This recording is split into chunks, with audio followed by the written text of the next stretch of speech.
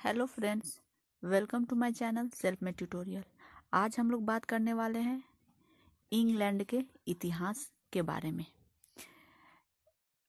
BA honours history paper के second paper England का इतिहास। तो इंग्लैंड के इतिहास के अंतर्गत मुख्य रूप से तीन पीरियड पढ़ने होते हैं। First Tudor period, second Stuart period और थर्ड हैनवर पीरियड। तो आज हम लोग बात करने वाले हैं ट्यूडर पीरियड से रिलेटेड टॉपिक के बारे में। तो आज का टॉपिक है, हेनरी अष्टम का धर्म सुधार आंदोलन। या, हेनरी अष्टम सुधार पार्लियामेंट के कार्य। अब हम हेनरी अष्टम के शासनकाल में हुए धर्म सुधार आंदोलन के बारे में चर्चा करें। इससे पहले हम ट्यूडर काल के बारे में थोड़ा सा हम लोग स्टार्ट करेंगे कि ट्यूडर काल स्टार्ट कब से होता है। तो आपको बता दें, ट्यूडर काल का जो प्रथम शासक या राजा था इंग्लैंड में ट्यूडर काल के अंतर्गत, वो था हैनरी सप्तम। यानी हैनरी सप्तम मध्यकाल का अंत और आधुनिक युग के आगमन के संक्रांति काल में हेनरी सप्तम का राज्यारोहण हुआ। वह कह सकते हैं कि वह नव युग का प्रतिनिधि था। उसने अनेक विषम परिस्थितियों का सामना करते हुए इंग्लैंड की गति प्राप्त की थी। हेनरी सप्तम का राज्यारोहण 30 अक्टूबर चौदह ईस्वी को हुआ और इस तरह से वह इंग्लैंड पर 1507 ईस्वी तक शासन करते रहा। उसकी शादी। एडवर्ड चतुर्थ की पुत्री एलिजाबेथ से हुई थी तो उसके पुत्र हुआ हेनरी अष्टम। यानी कि हेनरी सप्तम के मृत्यु के बाद हेनरी अष्टम इंग्लैंड की गद्दी पर बैठा।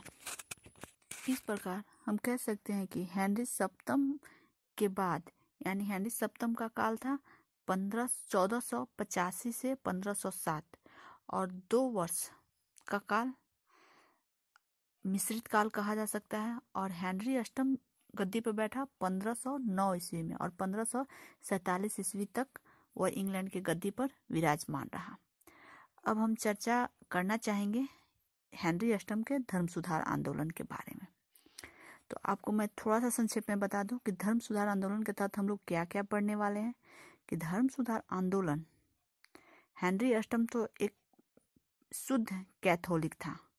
लेकिन कैथोलिक का मतलब होता है कि वो ट्रेडिशनल, पारंपरिक चर्च की व्यवस्थाओं या चर्च के रीति रिवाजों को मानने वाला था। यानी रोम के पोप या पोप के अधिकार क्षेत्रों में विश्वास करने वाला था। लेकिन वह किन परिस्थितियों में धर्म सुधार आंदोलन को प्रोत्साहित किया, चर्च की पुरानी व्यवस्थाओं को समाप्त किया, आखिर वो कौन सी परिस्थिति थी? जिससे विवश होकर हेनरी अष्टम ने ऐसा किया। इसकी हम लोग चर्चा करेंगे। हमने कहा कि धर्म सुधार आंदोलन के समानांतर हम लोग पढ़ सकते हैं। सुधार पार्लियामेंट। सुधार पार्लियामेंट और धर्म सुधार आंदोलन एक दूसरे से जुड़े हुए हैं। तो सुधार पार्लियामेंट की बैठक क्यों बुलाई गई? इसकी भी हम लोग चर्चा करेंगे। हेनरी अष्टम 1509 ईस्वी में पिता हेनरी सप्तम से विरासत के रूप में प्राप्त ब्रिटिश साम्राज्य का उत्तराधिकारी बना। वह पहला ट्यूडर शासक था, जिसे गद्दी पर बैठने के समय किसी प्रकार के विरोध का सामना नहीं करना पड़ा। इस प्रकार हेनरी अष्टम अपनी कुशलता से अपने मंत्रियों का चुनाव किया और इंग्लैंड की राजनीति को एक नया मोड़ दिया। उसका शासनकाल आता है 1509 से पंद्रह ईस्वी तक। उसके इस लंबे शासनकाल को हम दो भागों में बांट सकते हैं, अपने समझने की खातिर कि हम लोग उसके इतने विस्तृत शासन को कैसे करें समझने की खातिर हम उसके शासनकाल को दो भागों में बांट सकते हैं। प्रथम भाग 20 वर्षों का समय विदेश नीति से संबंधित है। यानी वो बीस वर्षों का समय विदेश नीति, यानी विदेश नीति का मतलब होता है कि वो अपने पड़ोसी देशों के साथ किस प्रकार शांतिपूर्ण संबंध स्थापित किया और अपने साम्राज्य का विस्तार किया। दूसरा भाग धर्म सुधार आंदोलन से संबंधित है। तो शासन के प्रथम भाग में राजा को बुल्ले जैसा योग्य प्रधानमंत्री मिला, यानी कि मैं पहले ही बता चुकी कि उसने कुशलता से योग्य मंत्रियों की नियुक्ति की। उनमें से बुलजे जो था, एकदम ज़्यादा योग्य था, जो हेनरी अष्टम के हर कदम पर उनकी मदद करता था। और दूसरे भाग में सुधार पार्लियामेंट की बैठक बुलाई गई। यानी कि पार्लियामेंट की बैठक आपको मैं बता दूँ कि इंग्लैंड की यह परंपरा थी कि वो उनकी, उन्हें धन की आवश्यकता होती थी या उन्हें कोई समस्या होती थी तो वो पार्लियामेंट की बैठक बुलाते और पार्लियामेंट की बैठक बुलाने के बाद बैठक में धन की मंजूरी प्राप्त करते थे या अन्य कोई समस्या होती थी, उनका समाधान करते थे। ऐसे ही पार्लियामेंट की बैठक के लिए हम लोग आगे पढ़ेंगे स्टुअर्ट काल में, जिसमें लॉन्ग पार्लियामेंट की बैठक बुलाई जाती है। तो वही है ये। जो बैठक बुलाई गई, वो थी सुधार पार्लियामेंट। जिसके तहत अब सुधार पार्लियामेंट की बैठक क्यों बुलाई गई? तो इसका सबसे मुख्य कारण ये भी था कि हेनरी अष्टम को धन की आवश्यकता तो थी। और दूसरी बात, हेनरी अष्टम ने अपने तलाक के प्रश्न को लेकर और सुधार के प्रश्न को लेकर पार्लियामेंट की बैठक बुलाई। और इससे धर्म सुधार आंदोलन को भी बढ़ावा मिला। इस प्रकार, शासन के दोनों भाग, हेनरी अष्टम के शासन के काल को हम दो भागों में जो बांटते हैं, उसके दोनों भाग, हेनरी अष्टम के तलाक के प्रश्न से संबंधित है। अब हम लोग चर्चा करेंगे कि हेनरी अष्टम का तलाक का प्रश्न है क्या, जो इन पूरे राजनीति को प्रभावित करता है, धर्म सुधार आंदोलन को प्रभावित करता है, सुधार पार्लियामेंट को प्रभावित करता है, इसकी हम चर्चा आगे करेंगे। हेनरी अष्टम एवं कैथराइन का तलाक का प्रश्न। तो हेनरी अष्टम जो है, उसने छह शादियाँ की थी। उनकी पत्नियों के नाम है Catherine Anne Boleyn, Jane Seymour, Cleves की एन कैथराइन हावर्ड और कैथराइन पार। लेकिन अभी हम लोग चर्चा कर रहे हैं, उसकी पहली पत्नी कैथराइन के तलाक के से संबंधित है।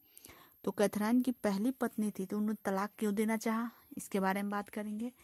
तो हेनरी अष्टम की पहली पत्नी थी कैथराइन उसे कोई पुत्र नहीं था, ना ही कोई संतान था। इससे हेनरी अष्टम काफ़ी असंतुष्ट था और उसने असंतुष्ट होकर एक युवती जो एक दासी थी, एन बोलिन, उससे वह प्रेम करने लगा। और प्रेम करने लगा, लेकिन वह उससे विवाह करना चाहता था। लेकिन वह विवाह तभी कर सकता था जब वह कैथराइन से तलाक ले ले। लेकिन कैथराइन का जो संबंध था, वह स्पेन के राजा चार्ल्स प्रथम के साथ था। पंचम, सॉरी, चार्ल्स पंचम के साथ था। तो जब हेनरी अष्टम ने कैथराइन के तलाक के प्रश्न को रोम के पोप के पास भेजा तो आप अब सोचेंगे कि रोम के पोप के पास क्यों भेजा? क्योंकि उस समय इंग्लैंड में चर्च की प्रधानता थी। चर्च प्रधान होता था। किसी भी तरह की विशेष समस्याएँ होती थी, वो चर्च के पोप के पास भेजी जाती थी और वही उसका समाधान करता था। इसलिए उसने तलाक के प्रश्न को सॉल्व करने के लिए भी पोप के पास भेजा। लेकिन पोप स्पेन के राजा चार्ल्स प्रथम पंचम के भय से तलाक देने की आज्ञा में विलंब किया, क्योंकि पोप जो था, वह चार्ल्स पंचम से भय भी खाता था और दूसरी ओर, वह इंग्लैंड के शासक हेनरी अष्टम को भी विरोध में करना नहीं चाहता था। इस कारण से वो विलंब किए हुए था। इससे पोप की इस ढोल मूल नीति से हेनरी अष्टम की पोप के प्रति जो श्रद्धा थी, जो हेनरी अष्टम पोप को मानता था, वह उसे घृणा में बदल गई। और उसने पोप से क्षुब्ध होकर अन्य साधनों का सहारा लिया। यानी कि अब वो पोप से तलाक लेना नहीं चाहता था। पोप के माध्यम से वो कुछ अन्य सोर्स ढूँढने लगा जो उनको तलाक दिला सके। अन्य साधनों का सहारा लिया, लेकिन इसके तहत उसने टॉम्स क्रेनमर की सहायता से यूरोप के विश्वविद्यालयों को आमंत्रित किया। और ये जो विश्वविद्यालय के जो भी सहयोगी थे उनके सहयोग से क्रेनमर ने उसे तलाक की अनुमति दे दी और इस प्रकार कैथराइन और हेनरी अष्टम का तलाक हो गया। लेकिन वुलजे, उसका प्रधानमंत्री था, उसकी विदेश नीति में उसके सहयोग किया था, लेकिन वो कैथराइन के तलाक के प्रश्न पर हेनरी अष्टम का विरोधी था। वो नहीं चाहता था कि वो कैथराइन से उसका तलाक हो। इस मामले को लेकर हेनरी अष्टम वुलजे को ना पसंद नापसंद करने लगा। और उस समय कुछ वुलजे ने भी कुछ ऐसे कार्य किए थे, जनता भी उससे वुलजे से क्षुब्ध थी ऐसी स्थिति में हम कह सकते हैं कि कैथराइन के तलाक के साथ ही वुलजे का पतन हो गया और वुलजे के स्थान पर टॉम सुमूर चांसलर बना। और वह एक उदारवादी था।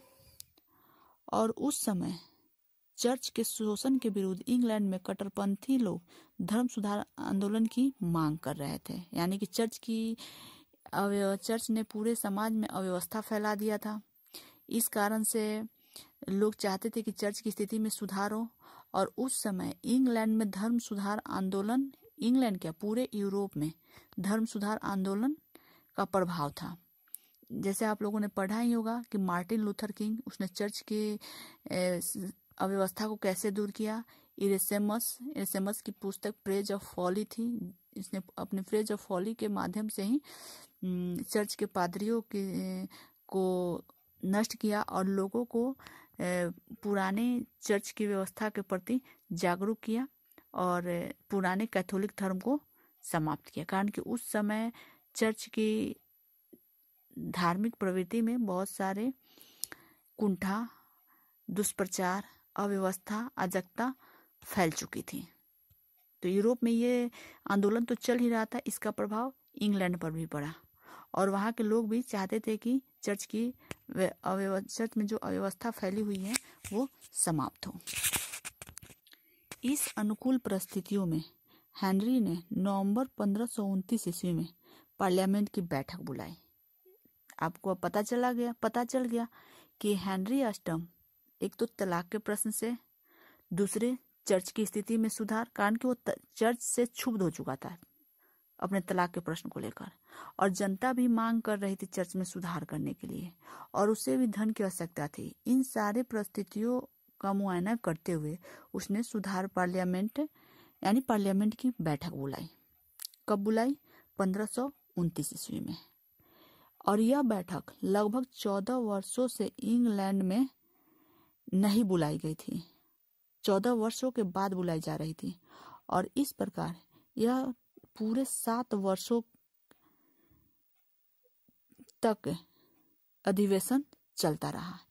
इन सात वर्षों के दौरान हेनरी और रोम के पोप के बीच भेदभाव बढ़ता गया। यानी चर्च की पुरानी व्यवस्था में सुधार हुआ और इस कारण से रोम के पोप के बीच भेदभाव बढ़ता गया। और पार्लियामेंट द्वारा पोप एवं चर्च की व्यवस्था के विरोध अनेक सुधार अधिनियम पारित हुए। इंग्लैंड के इतिहास में इसे सुधार पार्लियामेंट या हेनरी अष्टम का धर्म सुधार आंदोलन का भी नाम दिया गया है। अब इस तरह हम लोग पढ़ सकते हैं आगे कि सुधार पार्लियामेंट ने धर्म सुधार के लिए क्या क्या कार्य किया और किस प्रकार के कार्य किए? अब ये नीचे दिया गया है, अब हम लोग आगे पढ़ेंगे सुधार पार्लियामेंट की प्रथम बैठक में मुख्य रूप से चर्च के अधिकार क्षेत्र को कम किया गया है, यानी राजा के अधिकार क्षेत्र में पादरियों को लाया गया, यानी पादरियों पर राजा का अधिकार हो गया। तो इंग्लैंड में चर्च के पास बहुत सारी धन संपत्ति थी।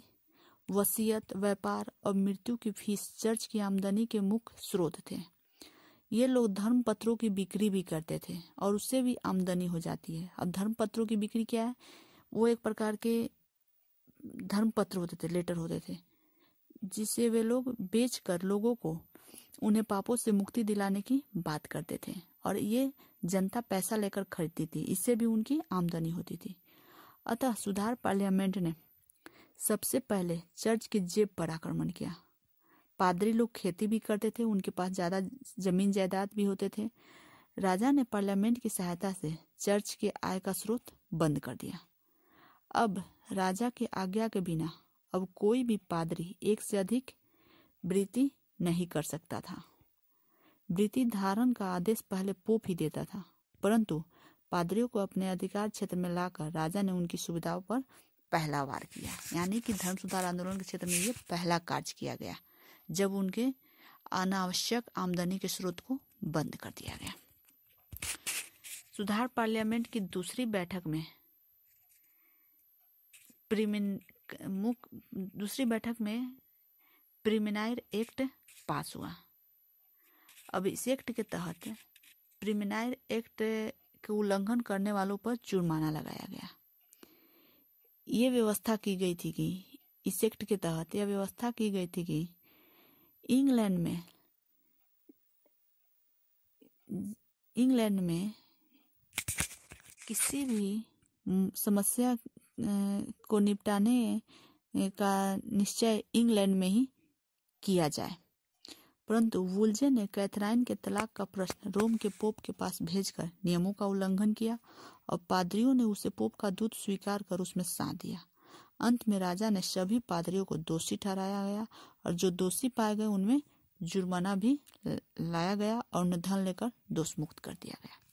इस तरह से दूसरी बैठक में प्रिमिनायर एक्ट पारित हुआ।